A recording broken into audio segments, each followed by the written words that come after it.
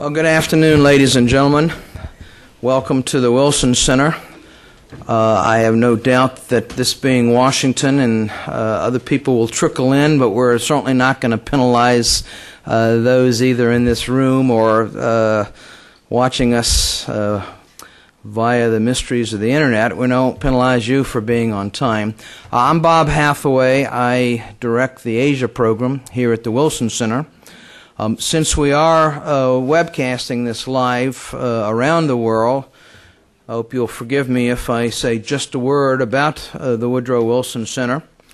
We were created uh, back in the 1960s uh, by the U.S. Congress um, as the nation's official memorial to President Woodrow Wilson, the 28th President of the United States.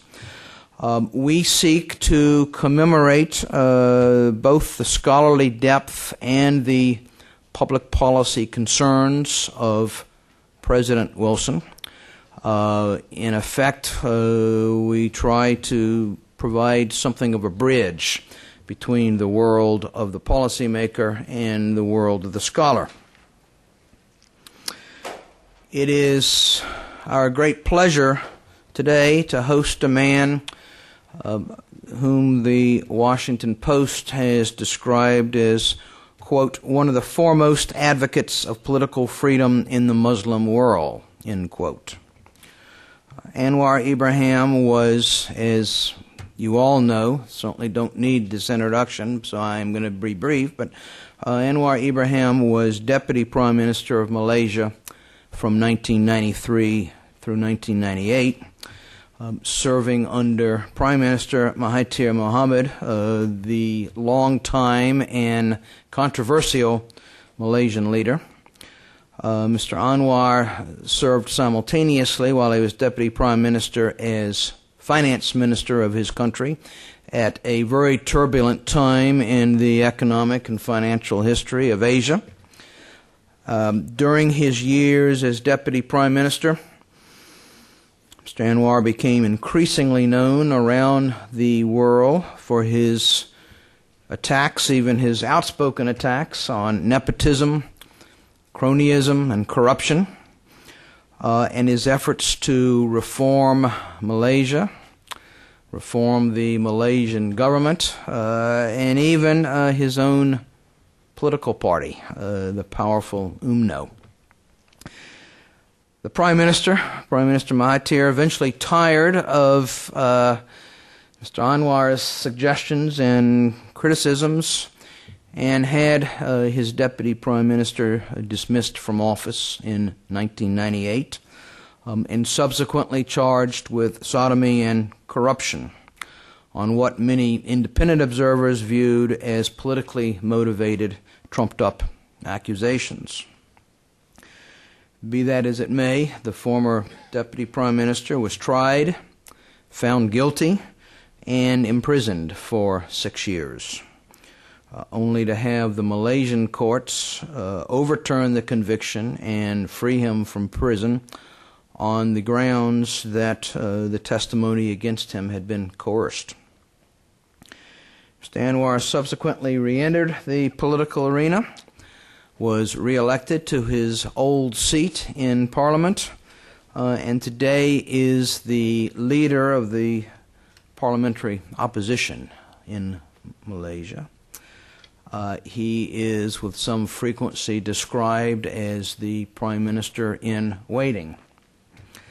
Uh, two years ago, he was again charged with consensual homosexual sodomy uh, in a, another case that many analysts have described as a politically motivated proceeding, and he is uh, awaiting trial on these latest accusations.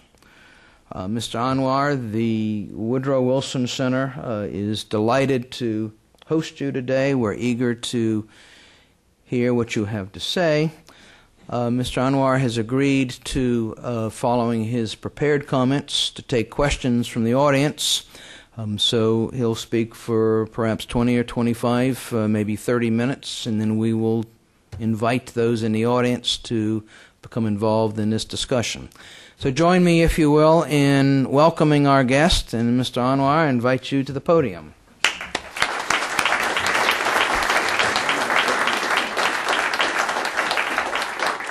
As we say thank you, terima uh, Bob, uh, for the introduction and kind introductory remarks. For a change, uh, I don't usually get such a wonderful introduction in Malaysian Parliament. Um, and of course, the Woodrow Wilson Center, I recognize the presence of many of my old colleagues and friends. Um, let me start with the proposition that there is generally no problem between Islam and democracy in Southeast Asia.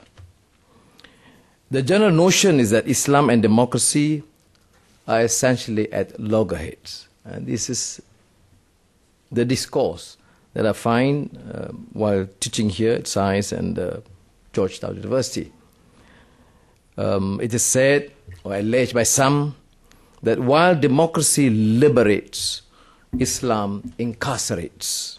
Democracy delivers people from the bondage of tyranny, Islam sends them back. They also say that democracy liberates by granting freedom of conscience, while Islam enslaves by imposing ideological rigidity and robbing people of their individuality and free will. And as if all this is not bad enough, we are told that while democracy gives us dignity, Islam gives us violence and terror.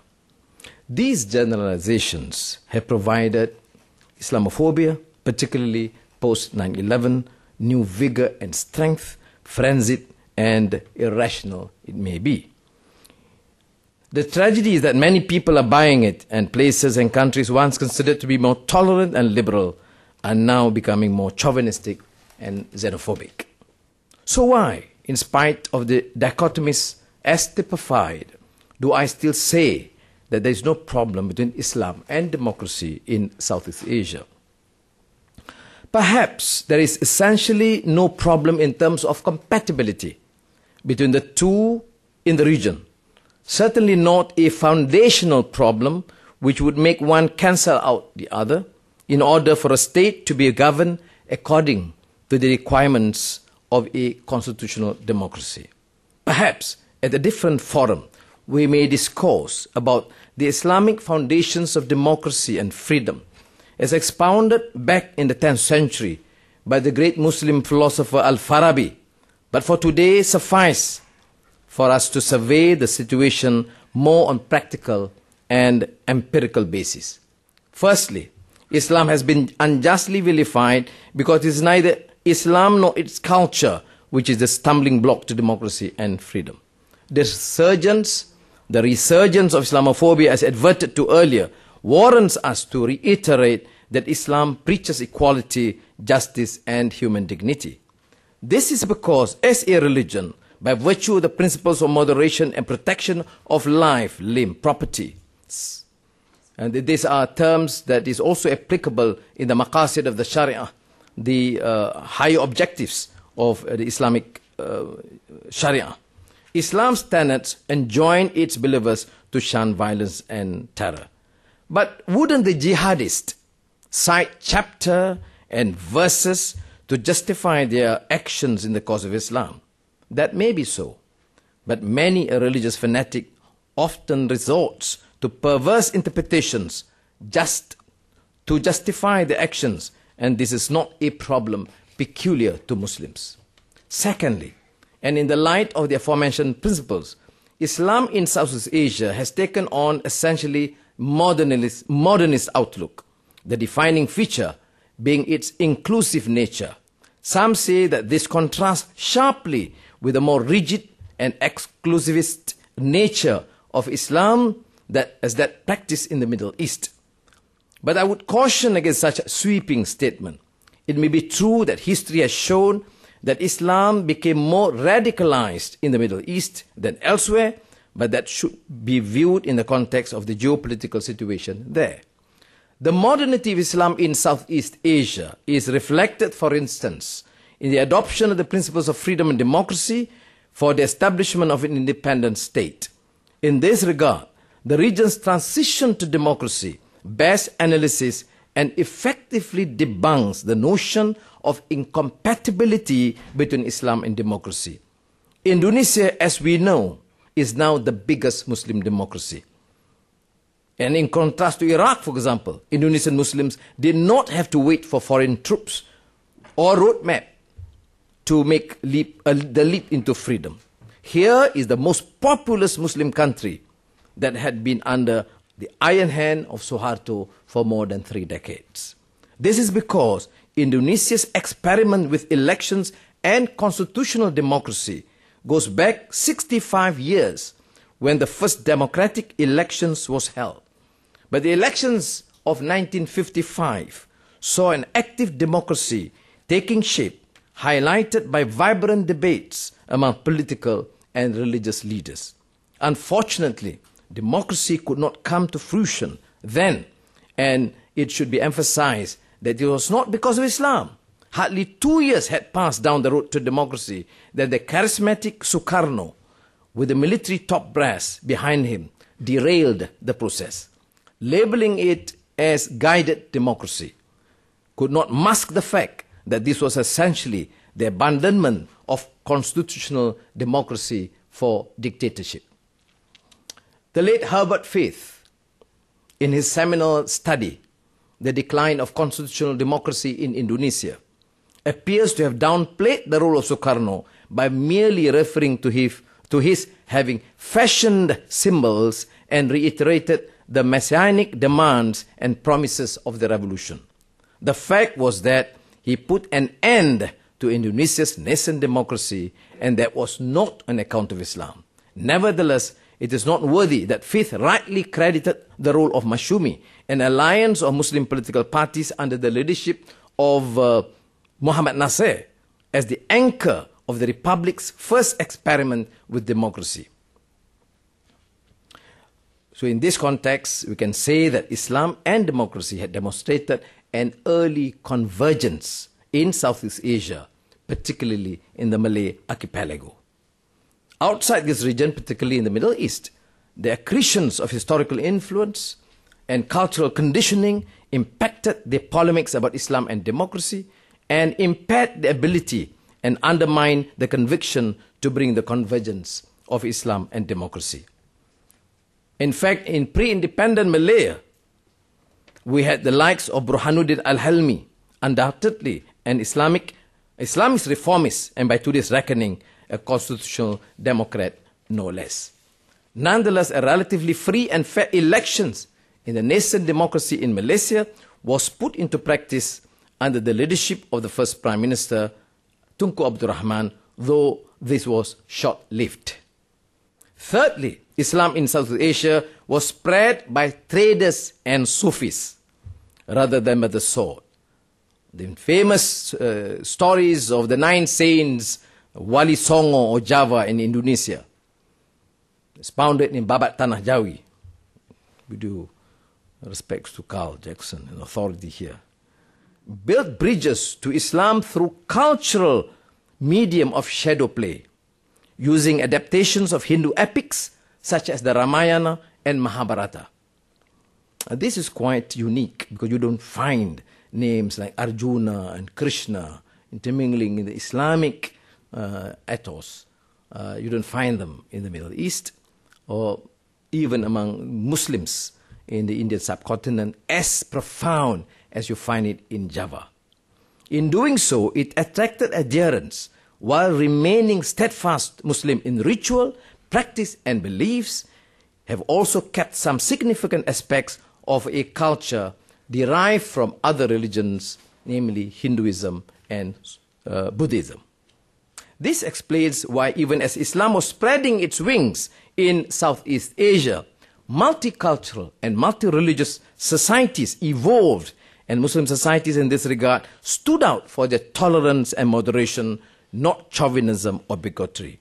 This inclusiveness also provides Southeast Asian Islam the antidote, if you will, to the poisonous tendencies of extremist leanings arising from fundamentalist persuasions. Again, Using the largest Muslim democracy as a case study, the era of reformasi saw the people of Indonesia organizing themselves into various political parties with some radical agenda, including the establishment of Islamic State. After all, it's a free, a democratic nation with a free media. You must allow all uh, tendencies and religious persuasions, including those that call for uh, Islamic reform or the application of the Sharia or establishment of an Islamic State. But the strength is this. When the nation went to the polls, they rejected outright the radicals.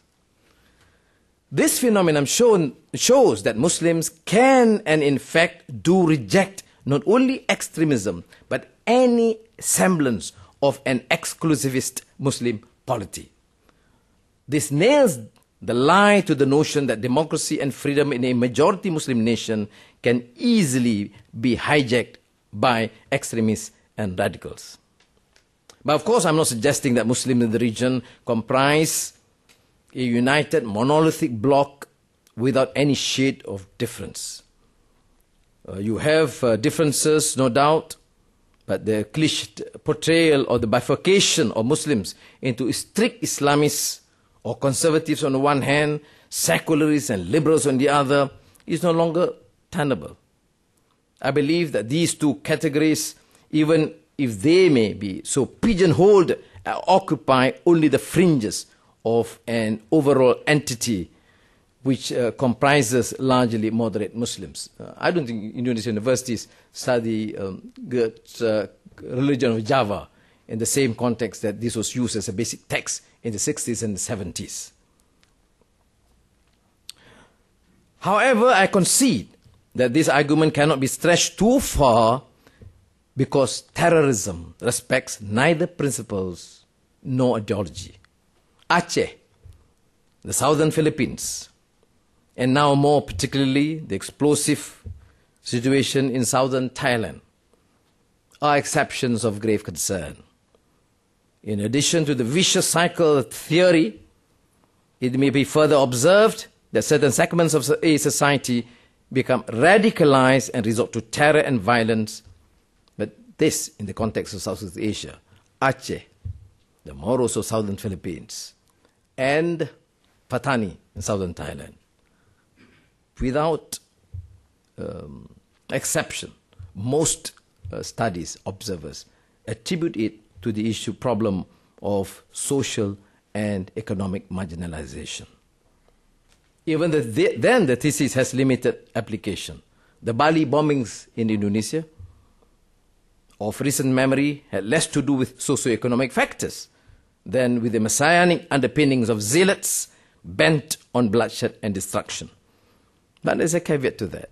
Unlike the bombings in other parts of the world, Muslim world or India, the Bali and Jakarta bombings was uh, overwhelmingly rejected and condemned, almost without exception, by all religious scholars and Muslim groups, to the extent that very fast, very quick enough, the security forces could chase after the perpetrators of the crime without much difficulty, because no villager wanted in any way to be associated or to be seen to be condoning the perpetrators of this crime. And this, to my mind, is a major exception that we here have to also recognize and study. How is it when you have a legitimate government of the people, by the people, as opposed to tyrants and uh, autocratic leaders, uh, people associate with the leadership, at least protect the system. They may dislike the president, but they want the system to survive. And they condemned and supported the security forces in tracing the whereabouts of the terrorists. So I believe the ultimate antidote to terror and violence is democracy and freedom.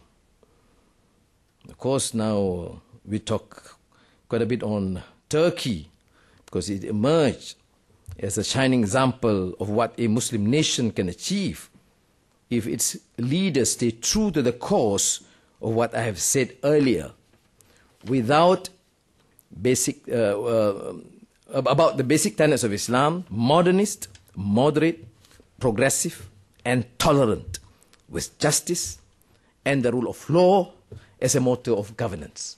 And this is a major challenge uh, for us because uh, I hear this is uh, uh right, certainly clear contemporary discourse and interest in the development of Turkey.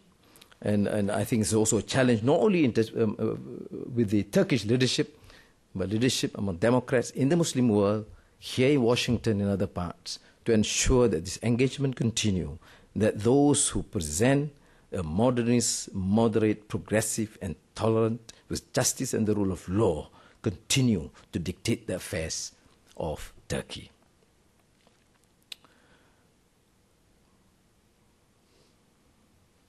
But sadly, I move on, uh, to suggest that terrorism is exploited as the bogeyman of uh, by politicians to be used as a panic button, button whenever it is expedient to do so. I'm concerned because suddenly in Malaysia, the Inspector General of Police came out out of a sudden. There's uh, terrorist cells, and uh, we always see this as uh, uh, from our radar signal that some of the other political leaders may be arrested. Um, the state controlled media would then go on an overdrive to scare the people out of their wits. Then the State Department would then dispatch high level officials for security talks and perhaps new security arrangements. The politicians would then pontificate about the importance and urgency of sacrificing individual freedom for peace and security.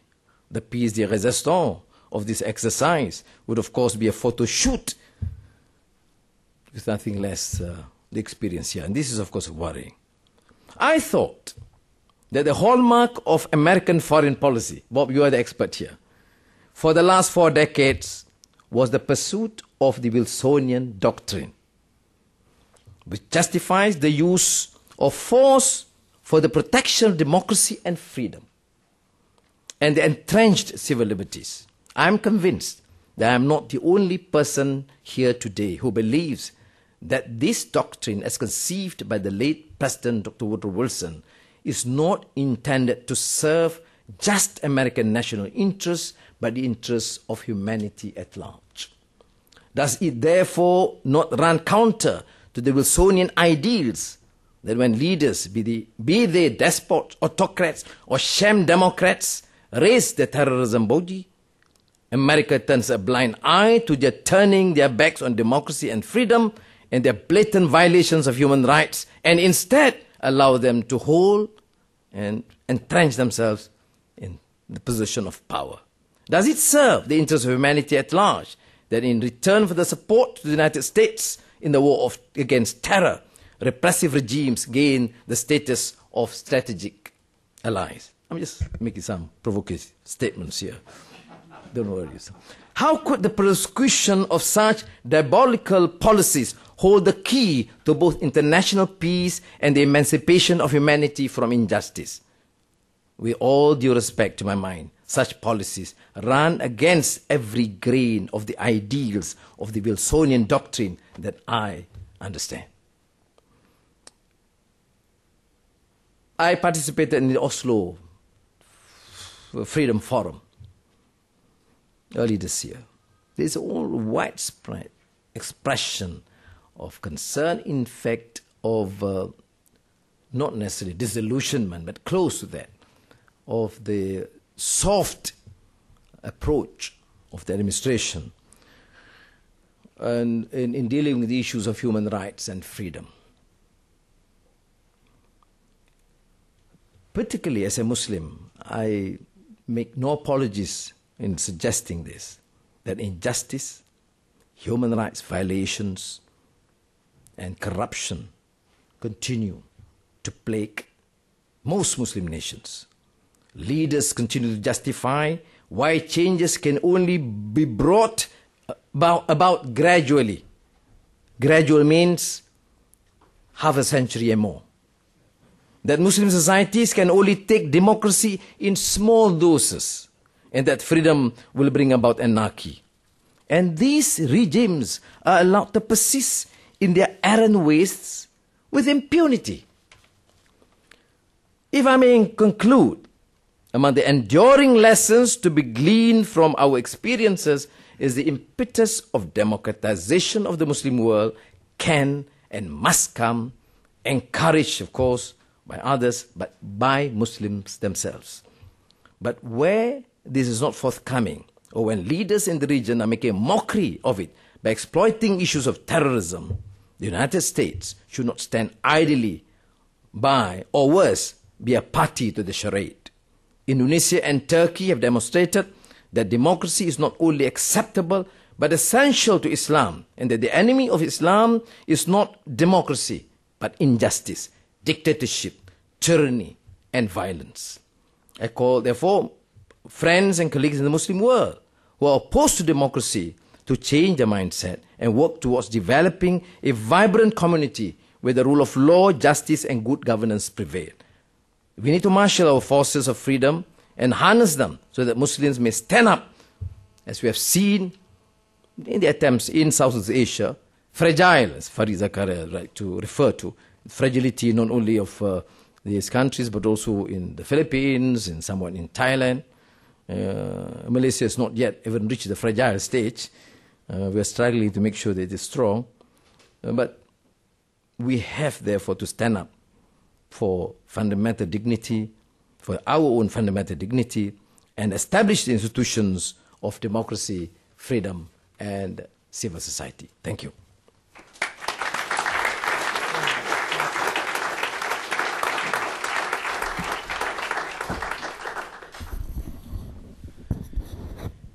Hearing that presentation reminds me how neglectful I was in my introduction. I was trying to condense a extraordinarily diverse and accomplished resume into just a few words. Um, and in doing that, uh, I neglected to mention your scholarly activities, uh, but that was certainly an informed, uh, even scholarly in the best sense of the word, uh, uh, presentation, uh, simply reminding us of another part of your life.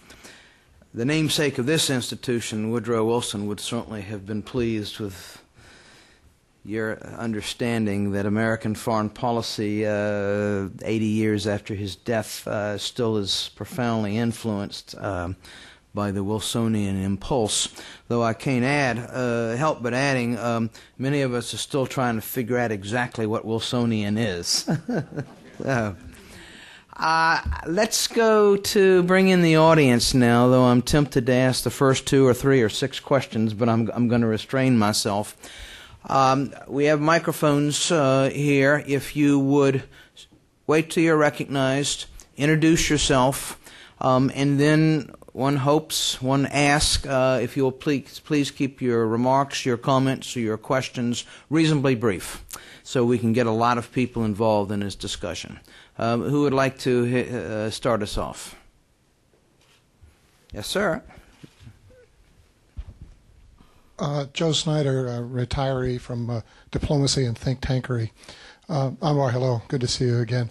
Uh, you mentioned in your talk that uh, diplomacy in Malaysia under uh, Tunku Abdul Rahman was short lived. Uh, could you elaborate on the, sort of the timeline you're talking about when you feel that democracy under the Tunku died or at least was greatly diluted?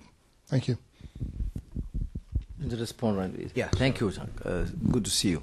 And um, know, Tunku um, embodies essentially a new generation of Malaysians, uh, articulate, Western educated, and uh, but strong fervor for freedom and democratic values, the Westminster type, not the Washington type, uh, but very democratic, London train. Um, uh, and and uh, we had uh, relatively freer media and no question about independent judiciary those days. Uh, but unfortunately, it was short-lived. It was uh, he became prime minister in '57. By '67, after 10 years, you see a lot of resentment. Um, then by '69, the um, tragedy of the race riots, and that was uh, used as a pretext to have central power uh, state control because of the racial riots. So just uh, the first decade. Um, uh, my point is, it is there. embodied in our constitution, and uh, we have practiced it certainly well and generally well received, and a similar experience in Indonesia. In fact, the Indonesian elections in 1955 was considered to be clearly very fair and free. Uh, I used to joke uh, in front of Vice President Al Gore that clearly it is more free and democratic as compared to Florida in the year 2000. Half of this city would agree with you. right. In the very back. I think that's Stan, though. No, all the way back, yeah. Uh, Stanley Kober with the Cato Institute. Recently, I read an editorial criticizing you uh, for voting in the Malaysian parliament to condemn Israel on the uh, flotilla incident. Um, so I thought you should have an explanation, uh, an opportunity to explain why you voted the way you did, and also explain why this issue is so important that the Malaysian parliament would vote on it, would want to make its opinion. Yeah, thank you. now, um, the Palestinian-Israeli conflict though quite remote from our societies, but very emotive.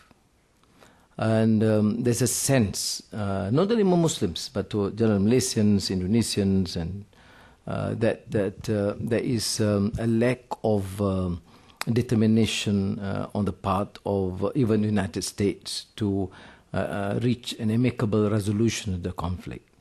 Um, there was of course uh, there's of course no real debate or consensus what the position be.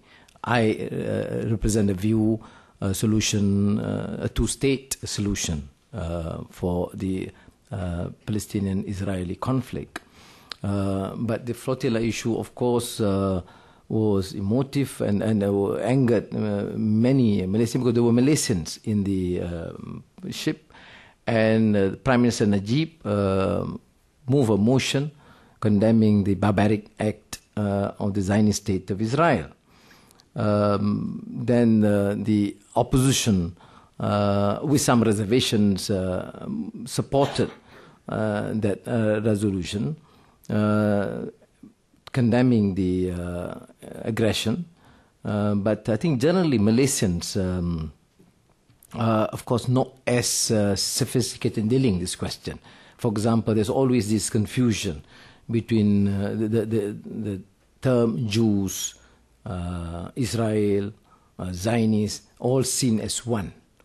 Um, but many of us are more um, concerned so that you know there should should not be an anti uh, or racist, uh, uh, I should say, uh, a racist position, of anti-Jews or anti-Semitic, to valid criticism of some of the actions by the State of Israel.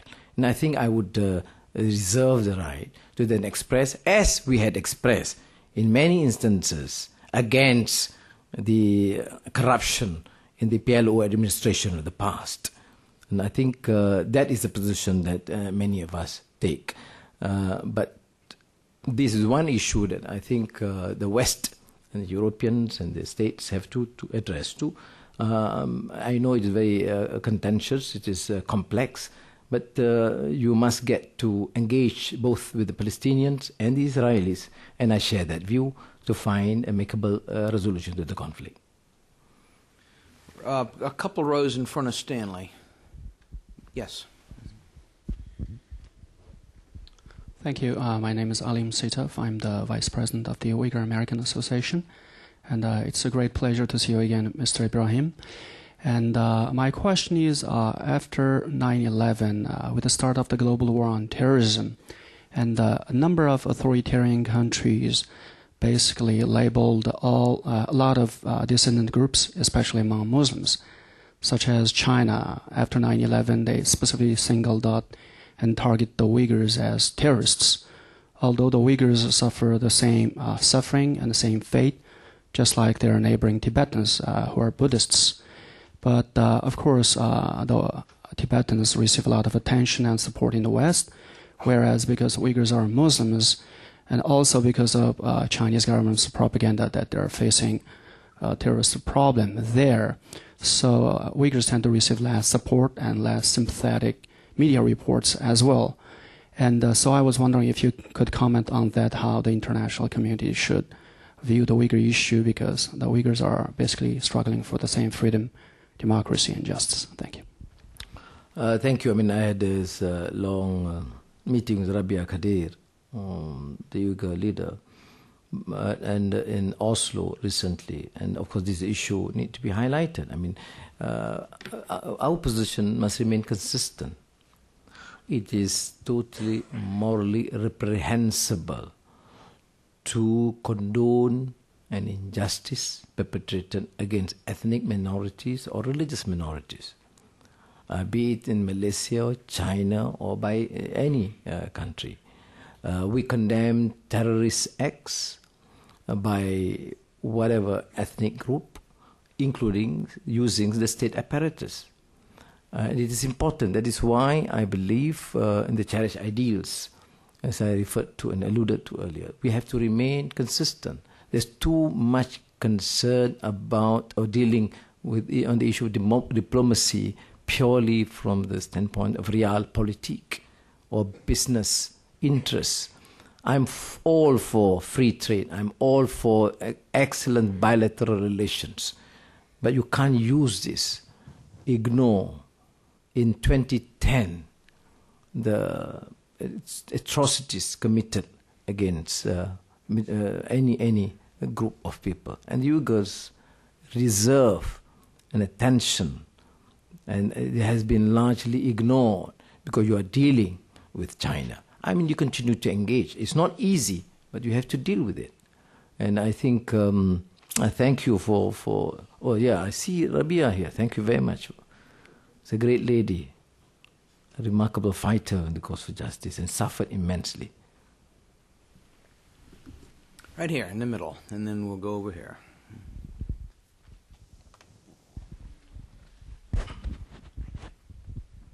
Uh, Daniel Wu from CSIS. I have a very quick question in regards to the domestic political situation in Malaysia. Um, democracy, first of all, recognizes everyone as equal regardless of race, religion, or culture. What are your thoughts on the recent Mahathir stunt on the Bangkit Melayu incident, and how do you think that will impact the democratic process in Malaysia? Thank you. Thank you. Why do you bring up Mahathir? It's completely irrelevant. His ideas are completely obsolete. Um, I, avoided him. You now provoke me into this. uh, no, but there's also a trend in Malaysia. First, the Allah issue. I mean, it's completely insane, if not ridiculous, to suggest that you can impose upon uh, others, uh, you know, non-Muslims, uh, a law denying them the right to call their God whatever name. You can call any other name except Allah. So there's a law.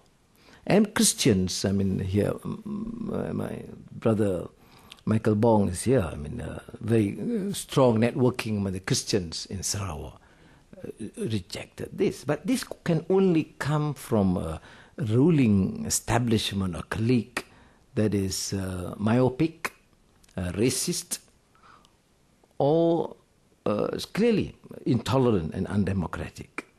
I mean, in, in I know uh, among the Arabs, Muslim Christians, or even Jews, you know, all the three Abrahamic tradition made reference to Allah, Salam, and um, but you have that. We, I mean, um, in the opposition coalition of Pakatan Rakyat, not only uh, Justice Party, the Democratic Action Party, but also the Islamic Party, have taken the position. Look, we cannot have this law. We must respect the rights of uh, um, the other religious. Uh, um, denominations or other faith to call God, Allah. The, the slight history, I mean, slight digression. You see, the Bible is translated into Malay hundreds of years ago. It's used uh, in Indonesia. When it's translated, it's translated, and the name Allah was used. Now, after hundred years, you can't come back say, no, no, no, we have to uh, edit the translation. You can see the thinking.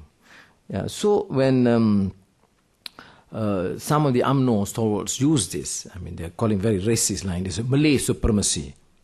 This is a Malay land. I say, yeah, this is a Malay land, Dayak land, Chinese land, Indian land, whoever uh, stays having the right in this country. Of course, then um, they have now called me. You know, in '98, I was uh, a Jewish agent uh, and CIA agent. Now I'm a Chinese and Indian agent. So I just told the Malaysian leadership, you please decide. You know, I can't be agents for all these communities. Because, because, I'm, because the level of support that we get and the engagement with the ethnic Chinese and Indians. But what's the future of a country, multiracial, multireligious country in Malaysia? Well, the future is a multiracial, multireligious agenda. Does it mean that I dilute my position as a Muslim? No, I don't drink. I try, and my family try to live as good practicing Muslims. But how do you talk about freedom, tolerance, when you don't show and exercise in policies? What about your position on the freedom of conscience, on distributive justice, on affirmative action, which I strongly believe, I'm Rawlsian in that sense, but based on need and not based on race? How do you then accept the fact that you use affirmative action to enrich your family members? Um, make uh, you know your wife and your children uh, as billionaires when, when challenged, affirmative action. I'm born a Malay and therefore it's my right. I believe that is actually a disservice to your own community. But more so, it is a clear transgression of the fundamental cherished principles of freedom and human rights. So I believe we will ultimately succeed in debunking this obsolete, unreasonable, intolerant theories, and people, young professionals like you, should come out and fight hard. Thank you. Uh, Carl, did I see your hand up? No? Oh, sorry, John. John Maggio, former ambassador. John, get the microphone. Yeah. I'd like to tell a story and then ask a question. When I was in your country, Munawir Sjadzali, who was in Mencegama in Indonesia, came through and there was a conference, and he was about to speak in English until someone said, No, no, no, we want your comments to be understood by everybody in Malaysia because you are a moderate. Please speak in Bahasa Melayu, which he did. Is there much interchange among the countries of Southeast Asia, the, the Muslim communities, majority or not, to try and reinforce their moderation, their, their views as you've expressed them? Not enough is being done. There have been exchanges with the more you know, moderate scholars in Indonesia, Malaysia, and also engaging with those in Fatani in southern Thailand and the Philippines and Aceh. But I think more need to be done uh, because uh, otherwise, what is the dominant trend is still the conservative trend. Moderate, I mean, they are not, they are not, they are not uh, radical in many ways, but the new conservative uh, trend interpretation of religion which to my mind is rigid and which is uh, not promoting the whole principle of uh, creative thinking, which uh, we term as ijtihad, opening the gates and, uh, and, and doors for discussions and discourse. Once you allow the principle of freedom for discussion discourse, then people are bound to, you know, transgress some rules and debate and discuss. You have to accept that as reality. If you want to talk about freedom, but people must only say uh, and, and interpret the manner you would want to do it, or the, the, the formal and um, dominant uh, view, then I don't believe that we can have freedom in that regard. Yes, sir. Here and then here next. Thank you. Kaya Maile from the Council of uh, Community of Democracies.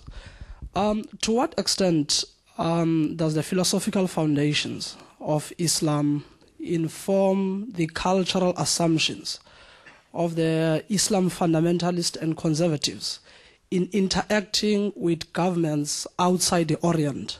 The reason why I'm asking this, there is a book by Professor Mahmood Mamdani, Good Muslims and Bad Muslims. And one of the things that he seems to suggest is that the philosophical underpinnings and foundations of Islam have great implications when it comes to the cultural assumption. And one of those implications is that when this uh, bad Muslim interact with someone outside the Orient, sees this person from the position of the other. Thank you. Mm. Very complex question.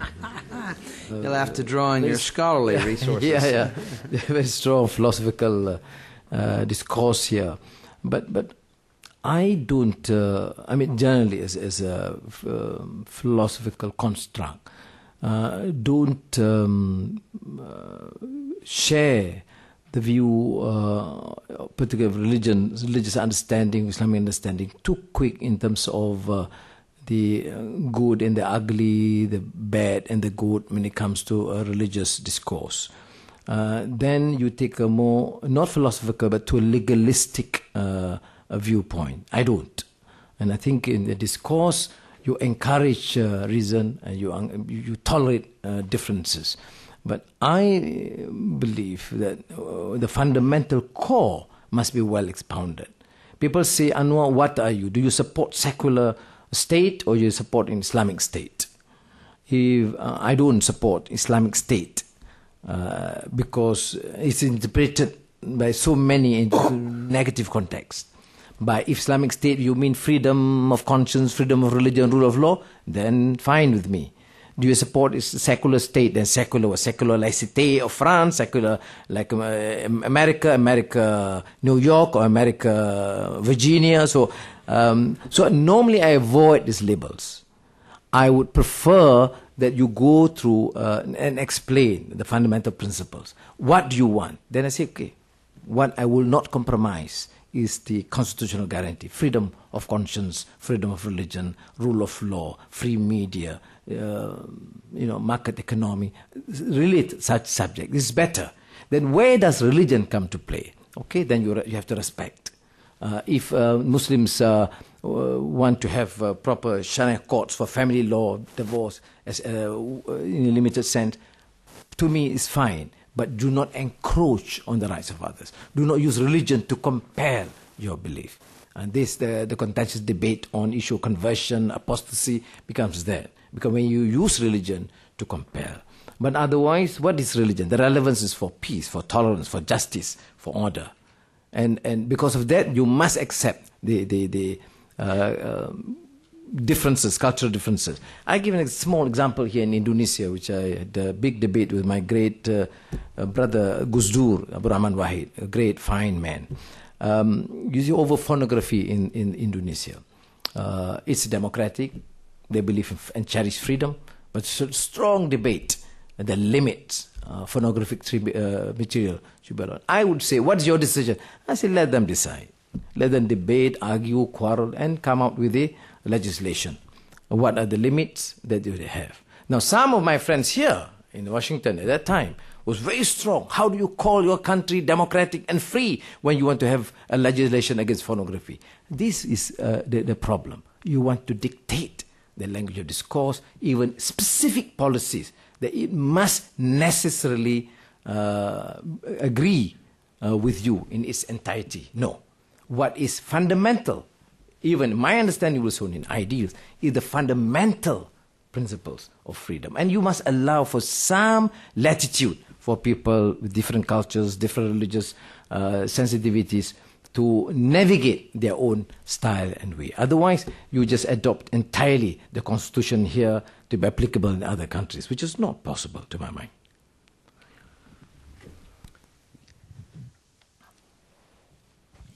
Hi, my name is Roya. I come from Dubai. My question is that uh, before we, any Islamic country, uh, arrives to democracy, what is the transition period that they need? What are the chances they should be given? How it should be viewed in terms of, of course, they would go through trial and error, so not to be judged, and the tolerance level before they arrived at democracy. And this, because democracy means different it would interpret differently in different countries or for different regions culturally, uh, religion wise. So I'd like your views, please. Mm, thank you. You see, this issue of transition to democracy, that question should be asked 50 years ago in most of the Muslim countries, and particularly the Middle East. Because otherwise, after 60 years of independence or after 60 years of, uh, you know, exit of the British Raj or Algerian Revolution, now you see, you know, we are just a nascent stage. You know, our people are not prepared because our people need to be educated and to be given adequate exposure. then my answer is that you have to go and let the other people decide and, and, and, and give this opportunity. If you have been there leading the country for the last three decades under the same obsolete uh, regime or system for 60 years and your people are still not ready, then you need to go. I mean, that, that should be my main principle, you know. Because uh, um, that is why my concern. I know the, the, the question is relevant and legitimate. They say that uh, uh, democracy entails what? You must have a free media. What is the strength of democracy, although new, is not as fragile in Indonesia as in many other countries? Peace, security, you have that in Indonesia. Uh, you have a free media. There's a big battle to demand that they establish independent judiciary. Uh, there's anti-corruption commission. It's huge battle and debate whether it is truly independent and tackle the issue of corruption. There's a big debate on economic policies, whether you want to just to propel this obsession and the mantras about privatization, deregulation, you know, the mantras of the IMF, or propel economy, market economy, but at the same time cater for the marginalized, the poor, with adequate emphasis to the principle of distributive justice. If this is done, then that transition can be short-lived. Mind you, uh, three uh, decades of dictatorship under Suharto, a decade earlier, and suddenly Habibie came into the picture as president. I asked him, why did you release all political uh, prisoners the very day you take over office? I mean, this, is not, this guy is not, uh, should be too articulate in political philosophy. He's just aeronautical engineer. He said, Pa Anwar, uh, Pa, you know, respectively call like uh, an uncle or father figure, although I'm younger than him. I, I wasn't pleased I was called a Pa, but never mind. These things, as a good politician, you have to tolerate and smile. but he said, you know, I just realized that, you know, I'm answerable to the people who wants freedom and finally answerable to Allah. And uh, I call up the Inspector General of Police and the military chiefs and say, release them. They say, but President, we are not ready because we have cases. Okay then, give me the file. What cases? You have detained them four, five, seven, ten years without trial. I said, that is what we mean, which Tocqueville referred to as habits of the heart. It's just not fine theoretical framework, but democracy can work if you believe in it. There is a, sense of conviction. And, and I think this, this um, it takes a French philosopher to understand American politics. Eh? That I still cannot uh, comprehend how. But, but that was it. Um, uh, so you must have the institutions in place. Uh? And then he worked on ensuring fair, free elections. Um, full independent debate in parliament and, and continue to undertake the changes. Then, of course, you have uh, this whole team uh, and coming with uh, Abdul Rahman Wahid, showed so much tolerance and um, uh, to, to differences and tough against um, any uh, moves or measures uh, to discriminate or, or unjustly treat the minorities in Indonesia. And I think that uh, allowed these things to happen. Uh, why is it that it, uh, we started much better in the sense uh, compared to Indonesia, in Malaysia? We started much better, better infrastructure, better economic growth. But unfortunately, uh, hardly any uh, tolerance for criticism and therefore no free media. Now, you have the institutions in place, the transition can be very quick. You can't allow for a transition in the Middle East for five decades after losing the ground for five decades. You mean to say these are countries, um, uncivilized, barbaric societies? No. These societies had great civilizations, great culture, huge debates on uh, democracy, freedom for decades, but ruled, unfortunately, by a ruling clique that is so blatantly corrupt and repressive. And therefore, it is uh, partly our duty to try and promote these ideals of freedom to the developing world, including the Muslim world. I'm going to um, step in here because I cannot resist. Um, you quoted Habibie saying that he was answerable to Allah. That reminds me of uh, Woodrow Wilson, whose critics frequently complained that Wilson uh, acted as if he believed he had a pipeline direct to God. Um, and that he was an instrument of divine will uh, acting on uh, a mission decreed by God. Uh, many analysts and scholars get nervous when they hear that. Um, some um, have argued that many of America's uh, worst mistakes over the last several centuries um, have come about precisely at those moments when our leadership or much of the nation uh, believe that that a divine mission. Um, does it make you nervous at all to hear policymakers and statesmen who have to deal with very practical and even mundane issues on a day- daily basis. Does it make you nervous when they uh, attribute some sort of um, acting on the direction of, of an Almighty? Uh, well, not nervous. I'm certainly very worried if uh, you use uh, religion to uh, rationalize uh, all you know, mundane, uh, practical actions. Uh, I, I, made reference to the fundamental issue of justice. That um, Habibie said, How do I explain detaining a person without due process? Most of them been there 5, 10, 15 years.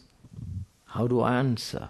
I mean, that, that uh, to my mind, the issue of faith, be it in Judaism or Islam or, or Christianity, that's relevant. But you see that, well, I'm answerable to uh, God, and therefore I have to detain them. That sounds odd because it sounds contrary to the principles. Uh, but of course, there is danger. I mean, you you are right to caution against this um, willful use. Why I made reference to Tocqueville, for example, because the ideals and the framers of the Constitution in the initial period in the United States is also certainly embedded in Christian ethics and values. Of course, now we have Muslims, we have uh, Jews, and but uh, you know he was dealing with this question. And as a Muslim, I don't find it uh, odd because he's talking about uh, Christian ethics. I'm talking about the fundamental principles, values that is commonly shared and the issue of freedom, of justice, of order, of uh, you know, uh, and and it is in that context. But we have seen, of course, uh, the danger, and we don't use it. You know, we, we can put uh, legislation and say, you know, I think or I believe it is now um, we we have to serve uh, the community in every policy, all in the name of God. That's where the danger lies.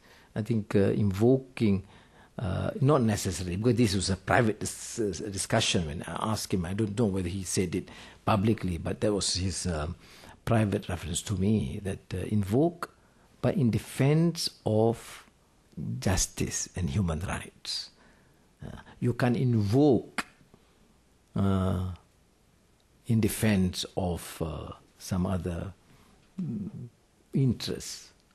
but I think it's always useful in this whole uh, discourse on the role of religion and the issue of faith, that people need to be reminded that there has been as much use and abuse of religion um, to promote a particular ideological uh, or political position. Yes.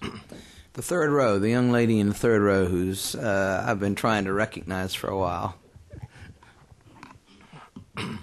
Hi, I'm Zing. I'm an intern at International Investors.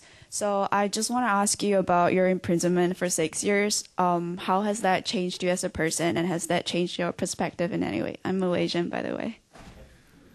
Oh, the first two years, um, the, when I was much younger. Then six years, solitary confinement. Now I'm not sure whether, whether they can survive this uh, court um, proceedings against me. How did I survive? Uh, it was tough. uh, solitary confinement. Um, many of my colleagues, um, including President uh, Estrada of the Philippines, was in jail, virtually house arrest, had some facilities. In my case, the solitary confinement. But six years, when Mandela invited me, Azizah, my wife, and my family, my kids, to uh, you know visit him in Johannesburg, he was very kind. He was very, I mean, concerned, compassion. He was. He felt very bad. He said, "I'm sorry, Anwar. I couldn't do much. Uh, I know you suffered." And I said, "Well, mine was short walk to freedom." Short because six years he was 26, a long walk to freedom. Okay, and. Um, you have to have a very um, rigid, uh, you impose on yourself very rigid uh, sort of a routine. Wake up early and um, meditate and recite the Quran and start reading. So I read almost every single book I can find. The first six months they, they, they denied me, and I must be thankful to many of my colleagues here in the administration then that you know speak up. I spoke uh, against this uh, treatment, and therefore books were allowed to be brought in. And uh, in the process, I read the entire collected works of Shakespeare four and a half times. You see? And I, not many can, can rival me on that. Uh, so there's also the, you know, uh, as I said, uh, you know, all the classics, Tolstoy, Pasternak, and Akhmatova. you know, you name it and you can find it. You start reading. Not only that, you read copious notes, you know, to the extent that after I was released, um, the World Conference Shakespeare, all these professors of English literature, authorities on Shakespeare invited me to speak on Shakespeare. so I was a bit humble. I says, uh, professors, I'm not, uh, you know, a professor of literature. They said, no, no, we want you to talk about Shakespeare from the prism of prison cell uh, Hamlet, Romeo and Juliet. So, I, uh, so it's just interesting. And then how you know King Lear speaking to Cordelia. so it's all well, well. It's still injustice perpetrated against me, but um, it's faith. It is uh, conviction. I believe in freedom. And what have you learned? You actually learn a lot. Because, okay, I'm, I know I happen to have friends all over the world when I had this, uh, I was uh, badly assaulted to near death and um, injured my back and my face and black eye. Uh, it was there, the CNN, BBC, all over. Everybody knew. But I, when I was in prison, I realized many people, broken nose, black eye, and nobody knew. So I said, uh, well, this cannot go on. This is injustice. Not only to Anwar, but you have to reform the system. In any modern civilized state, you must start and begin by reforming the prison. You know, I mean, some were just suspects, some uh, had no bail, couldn't afford to pay. So the, the poor suffered more than those who are, you know, known. I mean, I uh, was not given, I was denied bail, but many just could not afford. So you, you learn. And, you find finally, it's not because he's a Muslim or Buddhist or Hindu or Jew, or it, doesn't make a difference. They are just human beings being treated so unjustly. So you, I believe, I grew up to, from that experience to be a better person in the sense that I, I try and um, empathize with the feeling and the concerns of others. And um, Therefore, now, after coming out from prison, I will never. I talk about freedom, democracy, human rights, even before. But now, I'm not prepared to concede or compromise on the issue of basic right of any individual. You call them uh, Chinese or Indian or Malay or Dayak, it doesn't make a difference. Justice, issue of freedom, it's a human, uh, humanitarian issues. You must uh, be able to have the strength if you succeed politically, fair. But if, if someone say Anwar, you can make it as prime minister if you you downplay all the issues about justice and freedom, then I say, don't you find a different person? I'm not prepared to concede on that point. point, and that is what I learned in the six years of solitary confinement.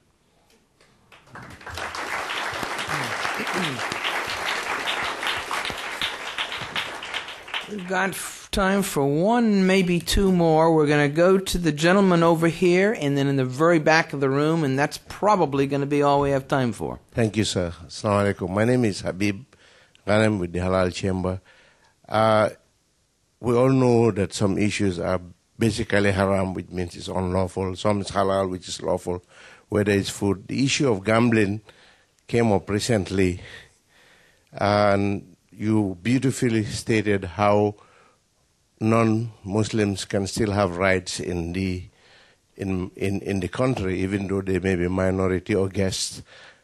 So, how would you treat, say, the gambling issue, which is obviously haram, but some people see it as their right? Thank you very much. Your opinion is highly respected. Uh, you expect me to be like sheikh to give a fatwa, and I'm not. no, but, but you have to understand the limits. Your understanding. I don't gamble. I don't drink. I mean, I drink water. Uh, but but you, you, there must be tolerance. I mean, how do I impose on others? Okay, when the Malaysian authorities uh, decided to cane a young girl for drinking beer, we objected. Okay, because I said the most you should do is probably advise her if you want to.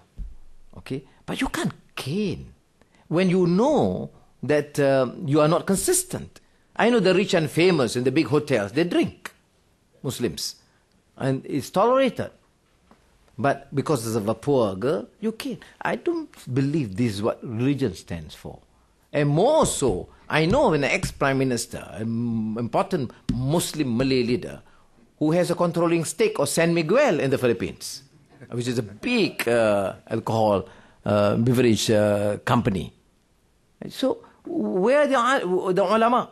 Where are the religious scholars? When it comes to this poor girl, you decide to cane her. When the rich and famous, you not only tolerate, you condone and you support. Kiss their hands. So I think this hypocrisy must stop. Now, the issue of gambling, it became an issue recently because Malaysia has registered excessive licenses in gambling. There's, you know, all these top tycoons, the gambling uh, tycoons, and uh, um, the ruling party leaders were all in cahoot.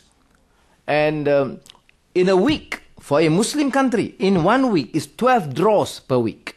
One very, very high rate of draws. So the Chinese non-Muslims, MPs, took it up. And I was chairing a meeting and they said, too much. I said, too much what? Too much gambling. I said, your pardon?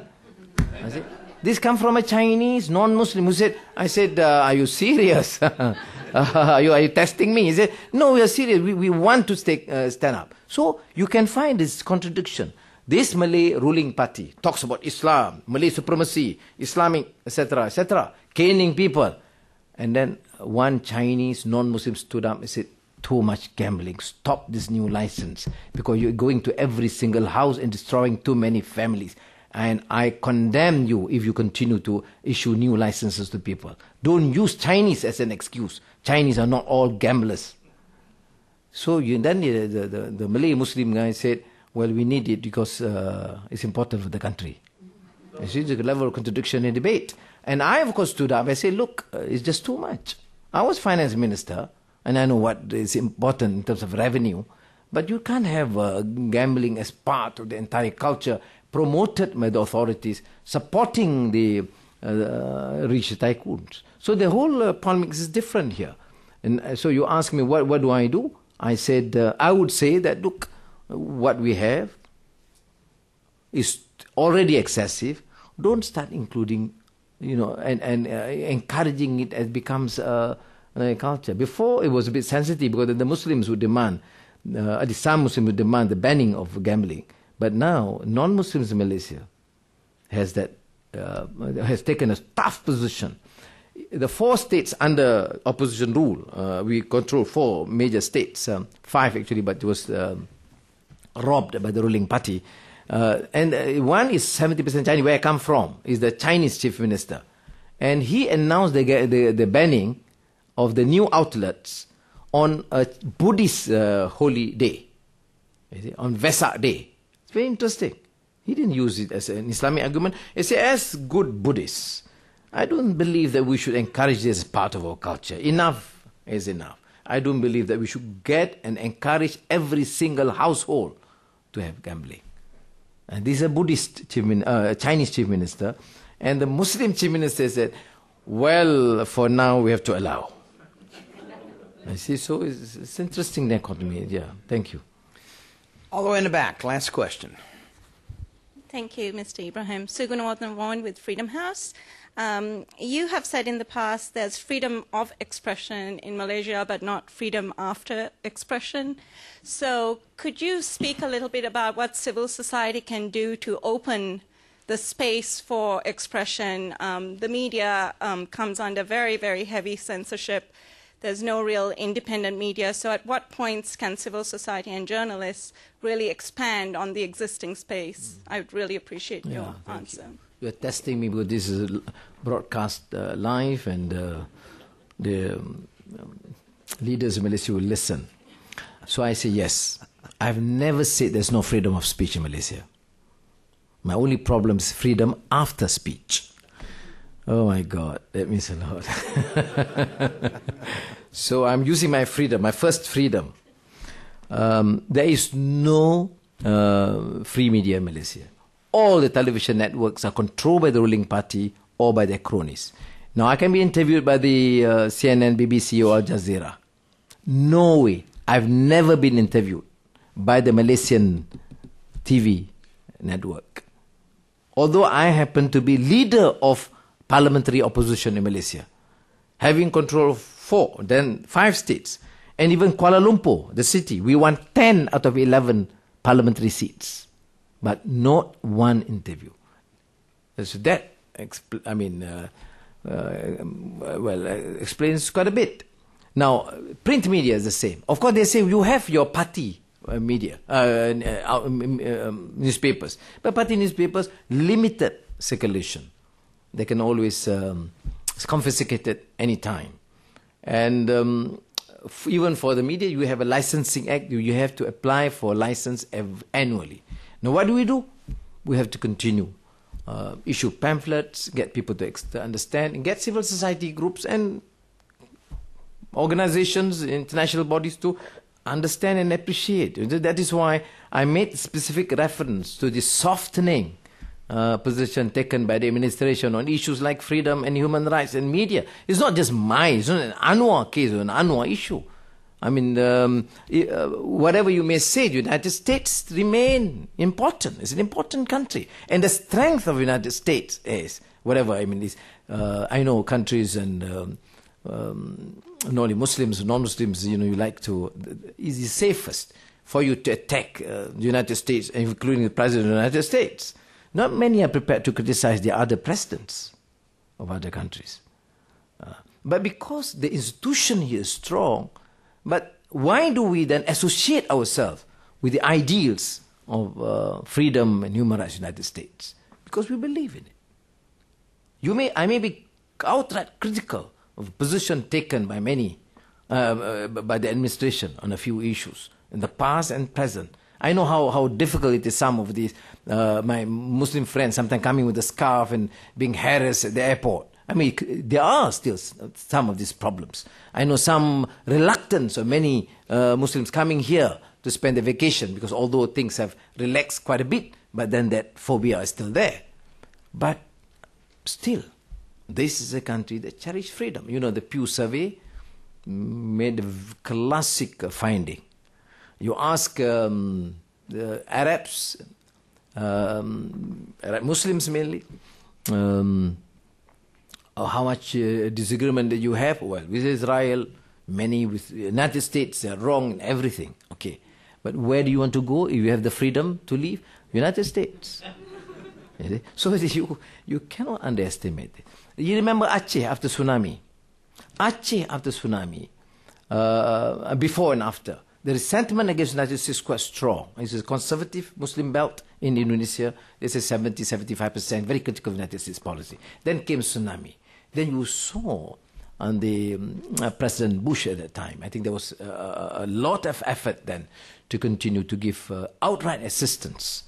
And you see the armed forces went. And Paul here is aware of that. uh, the, the, the defense uh, ministry went, and they were army in army uniforms, quite a number of them.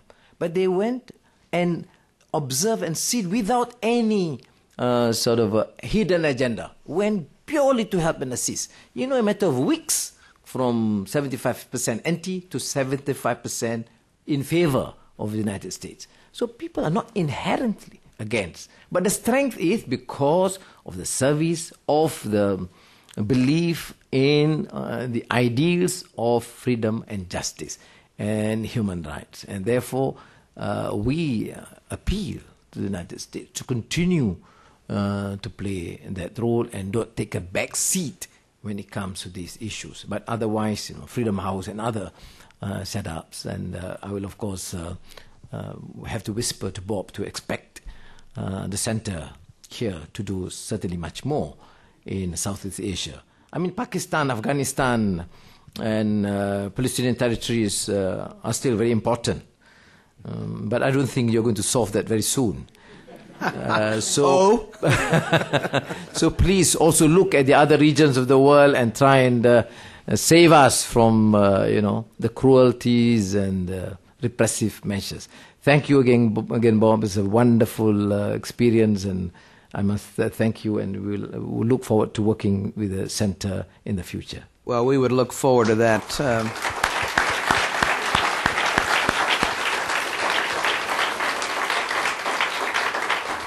be, be, beyond the specific things you said, uh, what I take away from this is the tone of hope, of optimism, of confidence about the future, of confidence that the right and justice will prevail. That's a wonderful message, and we salute you. Thank you. Thank you for coming. We are adjourned. Thank you. I hope uh, that was. Splendid.